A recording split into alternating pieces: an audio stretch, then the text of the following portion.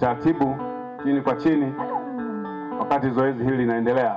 4.8 ndio hiyo ambayo imepatikana kutokana na jiwe la kilo sende kwa itifaki. Asante. Eh, kwa kicheko kabisa, makofi na vigelegele. Unajua hapo eh, safi sana, safi sana.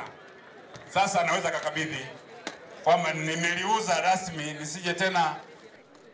Naam, kwa furaha kabisa, gavana wetu, naomba ile ile mfano wa hundi mlipaji wa serikali. Mheshimiwa Waziri yupo, gavana yupo, kwa hiyo akabidhiwe ile hundi ionekane. Mheshimiwa Waziri anainua. Tunaomba wachimbaji wadogo wote tuzingatie hili, kwa sababu tukienda na utaratibu huu tutafika kwenye malengo na Tanzania tutaonekana kwamba sisi ni watu wazuri sana.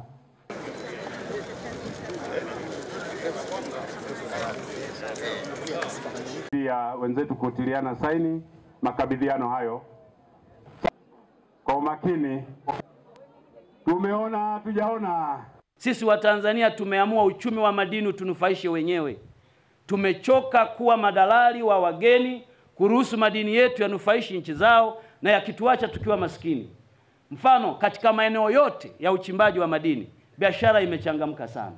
Hata mahali ambako tulikuwa tupati madini leo tunayapata kwa wingi. Tumeona sasa linafungwa rasmi kwenye utepe wake maalum, alafu tayari kwa kuhifadhiwa kwenye kasha. Ni lazima